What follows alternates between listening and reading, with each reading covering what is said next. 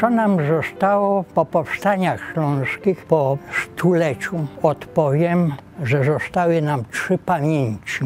Pierwsza pamięć pamięć rodzinna, podtrzymywana albo niepodtrzymywana przez potomków. Druga pamięć to jest wszystko to, co zostało utrwalone drukiem w literaturze.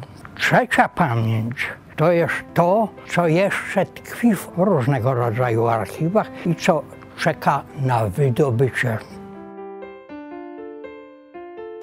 Dziadek często mówił o swoich przodkach. O Juliuszu Ligoniu, czyli dziadku, i o Janie Ligoniu, czyli ojcu. I o tym, jak dużą rolę oni odegrali, że powstania mogły się udać. Przygotowywanie Ślązaków do tego, że oni mają swoją tożsamość narodową, walka o polski język, o prawo do wydawania książek, do wydawania gazet. To była walka. To robił Bismarck, który chciał zniszczyć po prostu polską mowę na Śląsku, bo wiedział dobrze o tym, że jest w większości. Po to była Hakata, po to był Kulturkampf, żeby to zwalczyć. I właśnie Juliusz Ligoń, człowiek, robotnik, zwykły kowal, zaczął zbierać polskie książki i wypożyczać ludziom i stworzyć pierwszą polską bibliotekę na Śląsku. Kto mój pradziadek był, oni zajmowali się na przykład ludowe te teatry, chóry, biblioteki, zjazdy. To wszystko stanowiło podwaliny pod świadomość Ślązaków, że oni mają o co walczyć, że de facto są Polakami.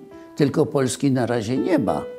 W związku z tym no nie można robić żadnych powstań, ale trzeba walczyć o to, żeby zachować to, co jest. A jest język, są zwyczaje, jest kultura i oni w tej dziedzinie pracowali.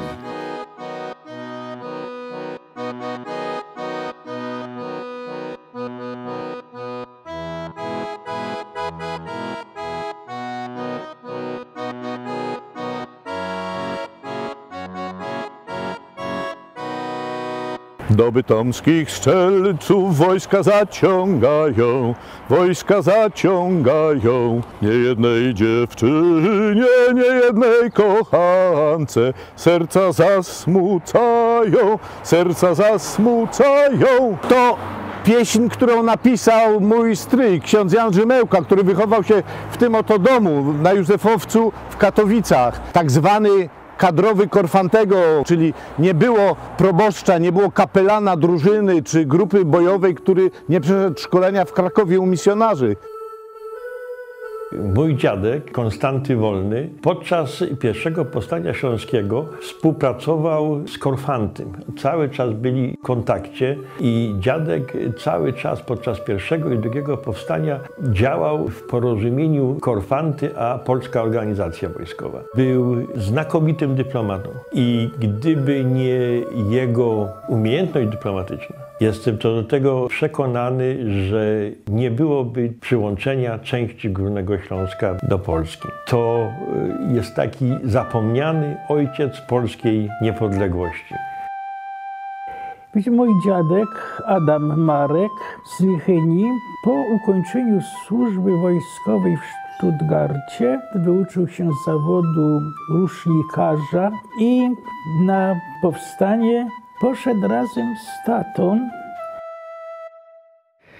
Jeśli chodzi o pamięć rodzinną, to funkcjonowała bardzo różnie. Jeśli były jakieś dokumenty rodzinne, to można było podpierać tą pamięć dokumentem, ale pamiętajmy, że powstańcy na ogół odchodząc z powstania nie mieli żadnych dokumentów.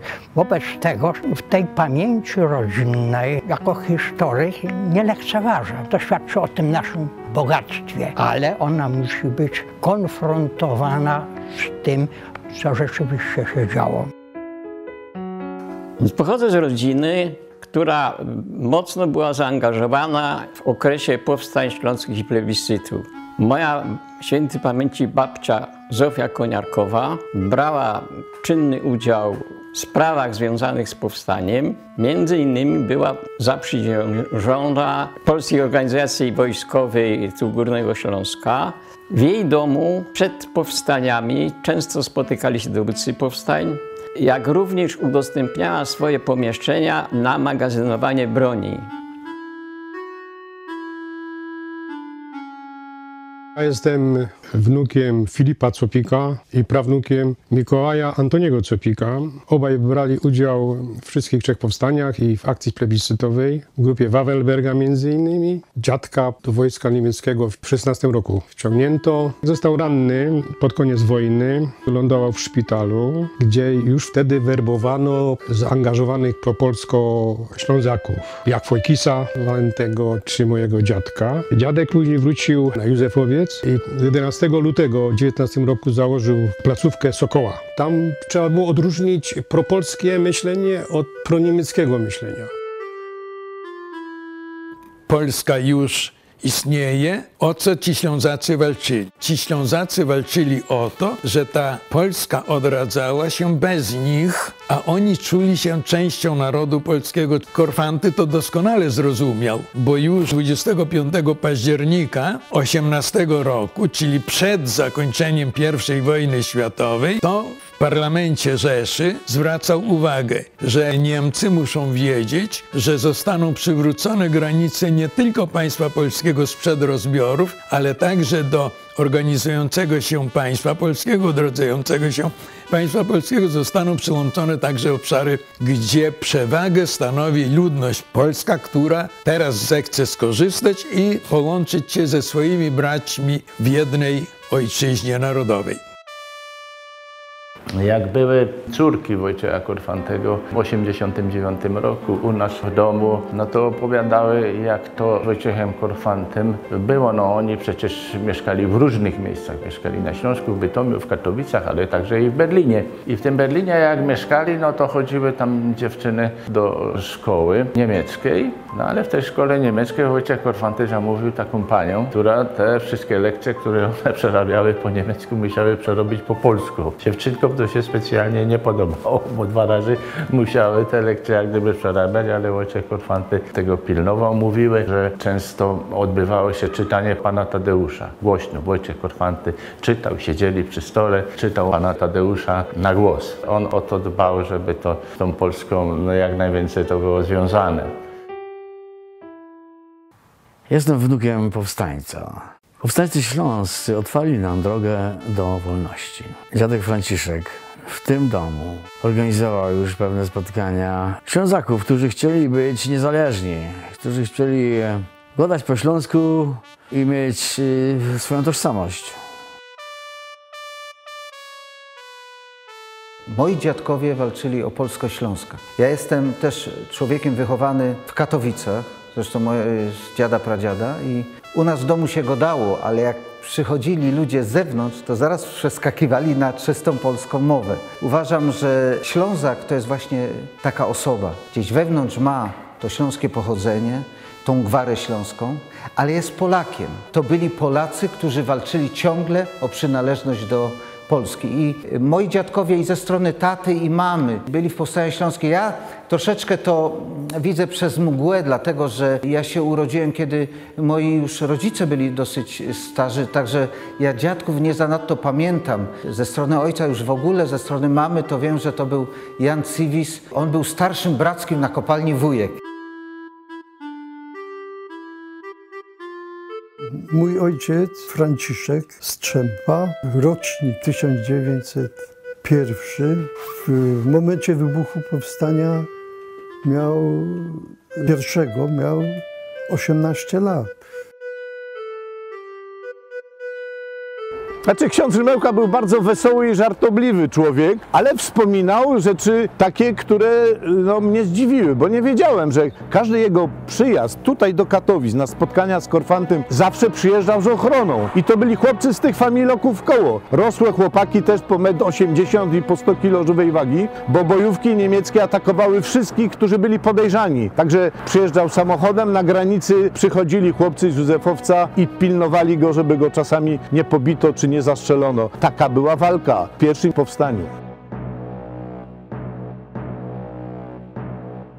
Zawsze ci Ślązacy, Polacy byli wynarodawiani, byli przez Niemców i przez Czechów traktowani jako coś gorszego. Inteligencja mogła być tylko niemiecka. W ogóle wykluczone było, żeby Polak, Ślązak uzyskał jakieś tam wyższe stanowisko. Dzieci uczyły się po niemiecku, ale nie rozumiały, czego się uczą. One się uczyły na pamięć, a jak ktoś się ich zapytał, co to znaczy, to one odpowiadały, że one nie wiedzą, bo pan nauczyciel tak powiedział i tak kazał mówić. A co to znaczy, to one nie wiedzą, bo one mówiły w domu po śląsku. Nawet nie bardzo sobie zdawali sprawę, to śląski czy polski.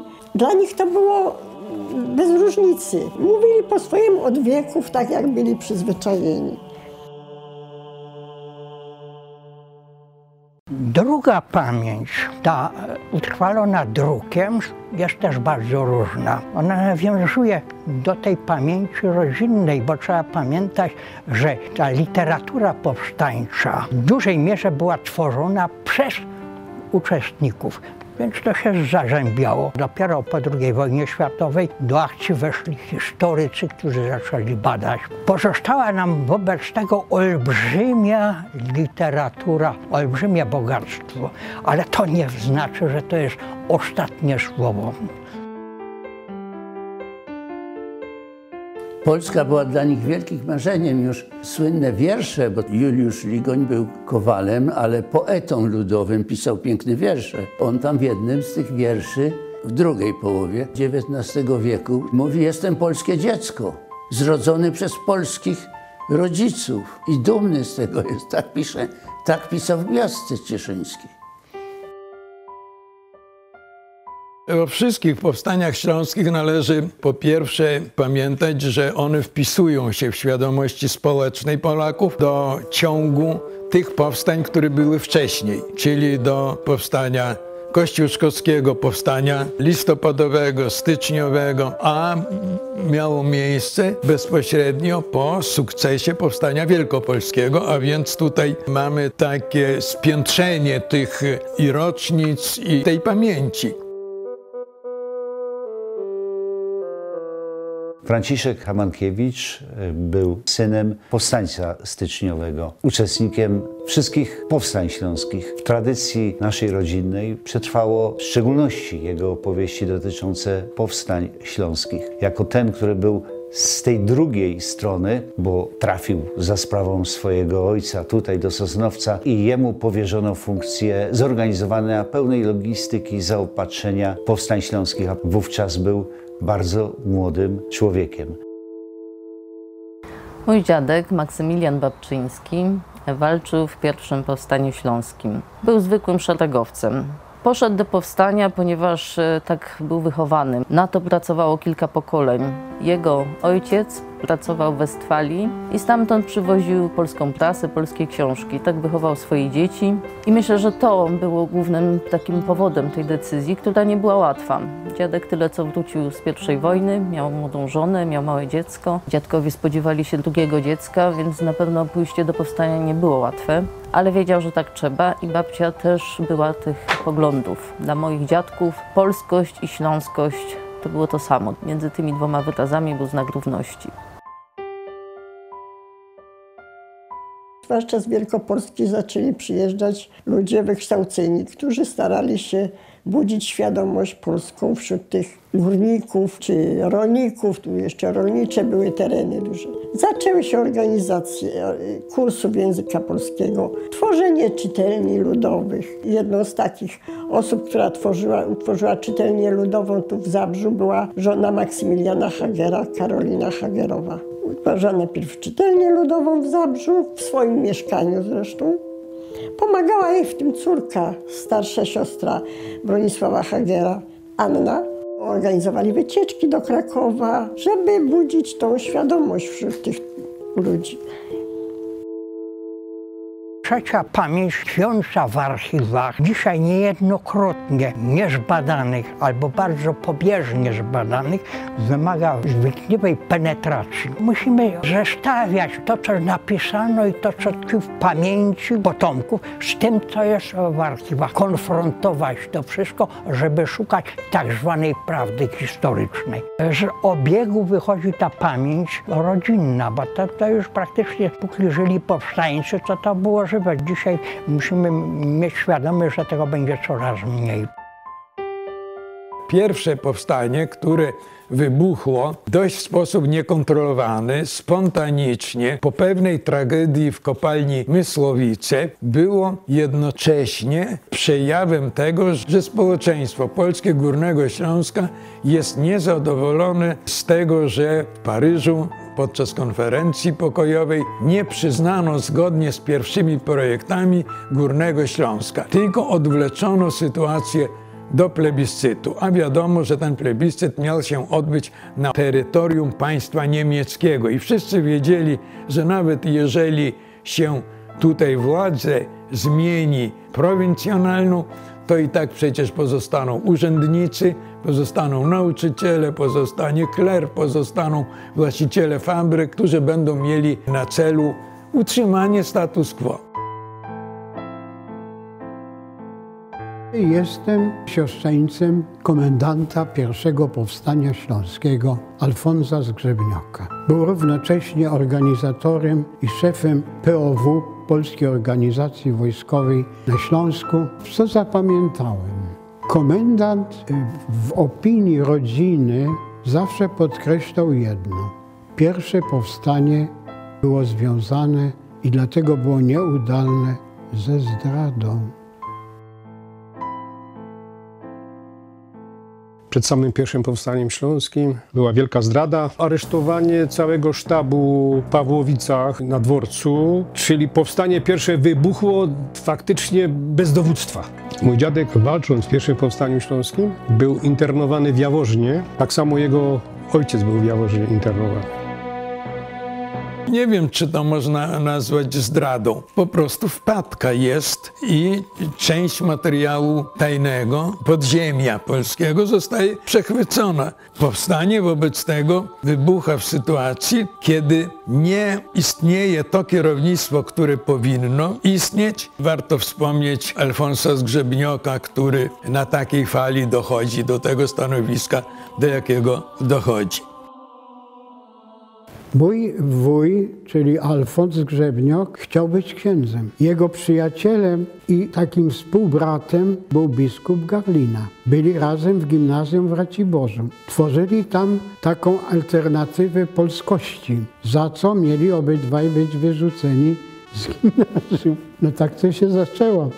Pod koniec wojny jednak jego wzięli do wojska wujka. Został tam feldfeblem czy czymś, już nie wiem. Przyjechał po wojnie do swojej rodziny. Ksiądz Brandys, który optował za Polską, powiedział, słuchaj, będzie powstanie, a my nie mamy oficera. Ty jesteś najważniejszy, my takiego potrzebujemy. No, ten mój wuj tak w rodzinie mówili, no nie wiedział co robić. No ale Brandys, posłuch był taki, faros powiedzieli, jak to dawniej mówili Staszykowie, to ty musisz być posłuszny. Będziesz komendantem powstania. Wracając do Zgrzebnioka, staje wobec sytuacji, żeby jakoś wybrnąć, gdy nie ma już żadnych szans na zwycięstwo. Pierwsze powstanie miało dwa terminy. Termin pierwszy został, przynajmniej na Opolszczyźnie, odwołany, ale do Lichyni wiadomość nie doszła. I tata razem z kolegą Albertem Banertem rozpoczął pukawkę w lesie czarnocińskim i oczywiście przyjechała policja. Obaj przesiedzieli dwa miesiące w więzieniu gliwickim. Wyciągnął ich stamtąd adwokat, który wybronił obydwu chłopców. Przekonał sąd, że to chłopcy sobie pukawkę w lesie urządzili. Mamy setną rocznicę powstania, które wybuchło bardzo żywiołowo. Oczywiście chęć walki była, ale nie było tej kalkulacji politycznej, militarnej, ekonomicznej. Wystarczyło podpuścić młodych ludzi, bo przecież popatrzmy, dowódcy powstańczy i szefowie grup bojowych to były 20-18 laty, czyli młodzi chłopcy, którzy chcieli walczyć. Tych żołnierzy, Polaków, którzy walczyli po niemieckiej stronie w I wojnie światowej, niewielu było w pierwszym powstaniu, bo oni wiedzieli, czym pachnie wojna, czym pachną te okopy, w których kilka lat siedzieli, czyli to był żywioł. Mój stryj Alojzy, który już brał udział w I wojnie światowej jako 18-letni chłopak. On brał czynny udział w wszystkich powstaniach śląskich. W pierwszym powstaniu również taka grupa z Bogucic tam brała czynny udział w tym powstaniu i on już tam był zaangażowany w te walki w sierpniu 1919 roku. Tutaj w powiecie katowickim były te walki przede wszystkim i w Bogucicach, i w innych dzielnicach, i Dąbówce Małej i tak dalej. Tam walczyli właśnie powstańcy z Bogucic. W pierwszym powstaniu głównie brał udział młodszy brat Bronisława Hagera, Janusz, który był podporucznikiem chyba Wojska Polskiego i organizował tutaj na terenie powiatu gliwickiego te akcje powstańcze. Został zresztą przez Niemców aresztowany i wywieziony do twierdzy w Kłodzku. Udało mu się uciec już w 20 roku i wstąpił do Wojska Polskiego walczącego w tej wojnie polsko-bolszewickiej. Zginął w walkach pod Indurą, to jest okolice Grodna jako młody, 23-letni młodzieniec. I to była pierwsza ofiara śmiertelna w rodzinie. Pierwsze powstanie śląskie trwało krótko. Tato zapamiętał, że musiał uciekać do Polski. Gdzie wtedy wylądował, nie mam pojęcia. Zresztą tato należał do ludzi, którzy nie lubili za dużo opowiadać o sobie. Sam był człowiekiem trochę skrytym. Nikt nie musiał go do tego specjalnie namawiać, żeby pójść do powstania, chociaż przyszedł po niego młody chłopak, zupełnie jeszcze młody wyrostek, praktycznie troszeczkę tylko większy od swojego karabinu. I to on go bardzo gorąco namawiał, żeby pójść. Żonie dziadek powiedział, że nie będzie walczył, będzie tylko stał za sołtysową stodołą i pilnował magazynu. A tak naprawdę przez trzy dni bił się w dużej bitwie i nigdy nie chciał za wiele rozmawiać na ten temat, za wiele opowiadać. Widocznie nie były to łatwe wspomnienia. Myślę, że ta skrytość taty wynikała z jego świadomości, że nie wszyscy ludzie myślą podobnie. Przecież tu były bardzo wielkie rozłamy w rodzinie. Na przykład wiem, że starsi bracia ojca byli gręszucami po niemieckiej stronie, a on był zaangażowany po polskiej stronie. W tym domu zawsze się pomagało tym, którzy byli w potrzebie, obojętnie jakich by byli poglądów. I tak na przykład w czasie powstania, chociaż dziadek był powstańcem, to babcia uratowała swojego sąsiada, który był niemieckiego ducha, ale to on uciekał przed powstańcami, on był w potrzebie i szukał u niej schronienia więc go przechowała. Potem w czasie II wojny światowej dziadek z kolei szukał e, pomocy i poszedł do tego uratowanego prosić go o wsparcie, żeby go nie wyrzucili z pracy. Okazało się, że tamten mu powiedział, że nic nie może dla niego zrobić. Ale też dziadkowie zawsze mówili, pamiętaj, tym się nie przejmuj. Trzeba po prostu robić tak, żeby być w zgodzie ze swoim sumieniem, pomóc temu, kto jest w potrzebie i nie patrzeć na to, czy to nam się opłaca, czy nie. To była taka wielka manifestacja, stąd jej tragiczne zakończenie, czyli ta liczba ofiar i ta ilość ludzi, którzy muszą opuścić ten Śląsk w trosce o to, ażeby chronić się przed zemstą państwa niemieckiego. Po pierwszym powstaniu śląskim brało udział w tym powstaniu y, ponad 15 tysięcy powstańców. Bardzo duża część powstańców musiała emigrować poza granicę i Wolny, który razem z księdzem Pośpiechem y, tworzy taki komitet do spraw pomocy tym wszystkim powstańcom.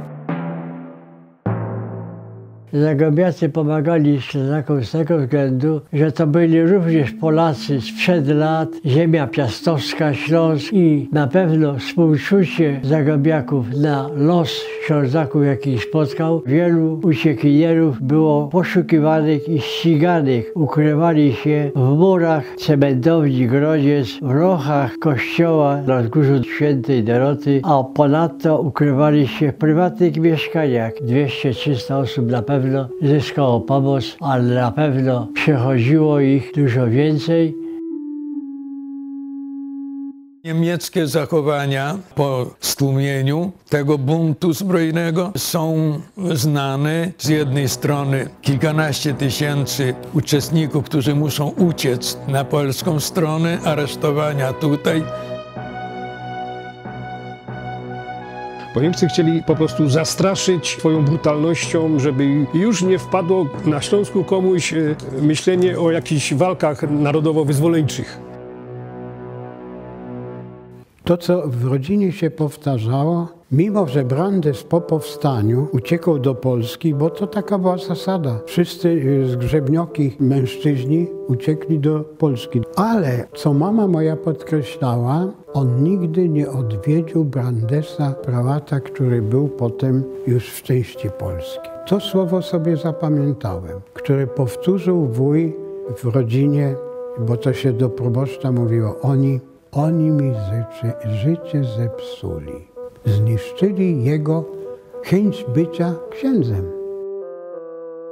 Taka ciekawostka pojawia się na tym obszarze pojęcie obozu koncentracyjnego, bo po raz pierwszy jeńcy, traktowani jako buntownicy, zostają zesłani do takiego miejsca odosobnienia, które nazwano obozem koncentracyjnym. To nie są takie obozy jak późniejszy Auschwitz na przykład. U Greców w części tej miejscowości zwanej Pekinem, tej ulicy Konopickiej, stacjonował pułk strzelców bytomskich. Były szpitale, które pomagały uzyskać opiekę lekarską. W Grecku na ulicy Konopickiej był szpital górniczy i w tym szpitalu między innymi lekarz Stanisław Karsz oraz Adolf Dekański opiekowali się rannymi powstańcami z Zabranicy. Takie szpitale istniały i pomagały również powstańcom śląskich w innych miejscowości. Bedzinie, Sosnowcu, Siewierzu, Czeladzi. Kiedy powstanie upadło, okazało się, że ta polskość jednak żyje w ludziach dalej i dziadkowie uczestniczyli w tych wszystkich wiecach, spotkaniach, manifestacjach, procesjach nazywanych tu na Śląsku fakelcugami, ponieważ ludzie szli niosąc ze sobą świece i śpiewając polskie pieśni. Do drugiego powstania dziadek już nie poszedł, ponieważ niestety te trudne przeżycia odcisnęły się tak na rodzinie, że dziecko, które się urodziło, miało ciężką wadę serca i zmarło. Więc dziadkowie postanowili, że już nie będą ryzykować tak trudnych przeżyć i w drugim powstaniu dziadek już nie brał udziału. Tak samo w trzecim. Najpiękniejsze swoje lata Franciszek Hamankiewicz poświęcił walce zbrojnej. W archiwum rodzinnym mnie przyszło przechowywać jego odznaczenia bojowe jako jedynego jego potomka. Wśród nich są dwa krzyże walecznych, Virtuti Militari, ale dla mnie, jako mieszkańca tego regionu Śląska, najcenniejsze są te właśnie za powstania śląskie, a odznaczenie za wojnę polsko-bolszewicką, szczególnie cenne ze względu na pamięć miejsc, w których się moi pradziadowie rodzili. Mama była czwartym dzieckiem Nikodema Ręca. Dziadek został powstańcem pierwszego, drugiego, trzeciego powstania, a w 1939 roku został ostatnim, który bronił miasta Katowice. Zresztą jego słynne powiedzenie po moim trupie tu wejdą Niemcy. No i tak też się stało. Został rozstrzelany w 1939 roku razem z najmłodszym synem Józefem prowadzili ich na rozstrzelanie na ulicy Zamkowej w Podwórzu.